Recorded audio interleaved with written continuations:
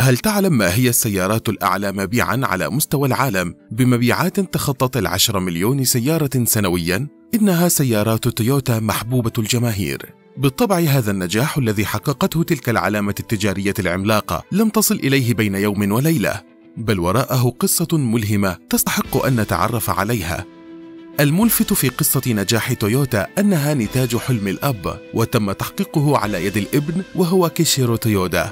مؤسس تلك العلامة التجارية الذي ولد عام 1894 بمحافظة تشيزوكا باليابان. والده ساكيتشي صاحب اختراع أول نول خشبي للنسيج على مستوى اليابان ومؤسس شركة Toyoda Automatic Loom Works لنسج الأقمشة.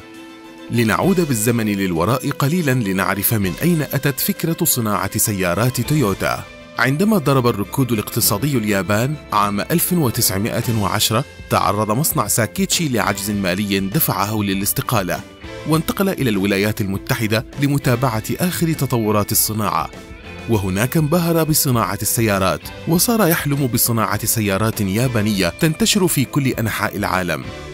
بعد العودة من تلك الجولة استأنف ساكيتشي العمل في صناعة النسيج وأنشأ شركته الجديدة Toyoda Spinning and Weaving عام 1918 لصناعة وبيع الملابس. في ذلك الوقت وبالتحديد عام 1920 أكمل كيشيرو دراسته الجامعية في الهندسة الميكانيكية بجامعة طوكيو وسافر إلى أمريكا لدراسة تصنيع الماكينات. وبعد عودة كيشيرو إلى اليابان سار على خطى والده حيث نشأ في عائلة مولعة بالصناعات والابتكارات فعمل مع أبيه في مصنعه. وفي عام 1924 توصل ساكيتشي لاختراع النول الآلي للنسيج والذي أحدث ثورة في عالم صناعة الملابس. وفي ظل نجاحه لم ينس حلمه القديم فشجع كيشيرو على البدء في تطوير وإنتاج السيارات. كان هذا وقتا مثاليا للبدء. فقد كانت الحكومة اليابانية حريصة على دعم صناعة السيارات المحلية للتخفيف من احتكار الشركات الأمريكية مثل فورد وشيفروليه للسوق اليابانية. واستكمالا لدعم ساكيتشي قام ببيع براءة اختراعه لشركة بريطانية وقدم لكيشيرو مليون ين ياباني لصناعة أول سيارة يابانية.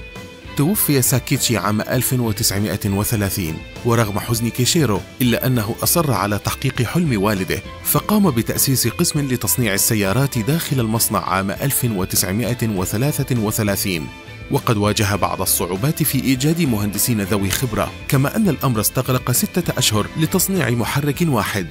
وفي عام 1935 تمكن كيشيرو من إنتاج أول سيارة وكانت من طراز A1 ثم انطلق المصنع في إنتاج سيارات الركاب والشاحنات.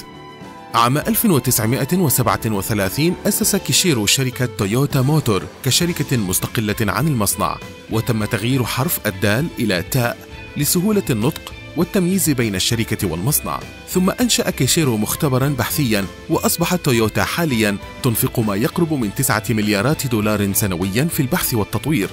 تصدرت تويوتا السوق الياباني بإنتاج سيارات بتكلفة أقل من منافسيها الأجانب. واستقال كيشيرو من الشركة عام 1950 بعد أن وضع حجر الأساس.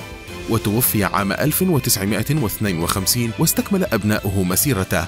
دخلت تويوتا السوق الأمريكي عام 1955 ومن ثم إلى العالم أجمع وأصبحت ثاني أكبر شركة منتجة للسيارات على مستوى العالم وأشهر موديلاتها وأكثرها مبيعاً هي سيارة كورولا، لاند كروزر، كامري وغيرها العديد من الموديلات التي حققت انتشارا واسعا على مستوى العالم.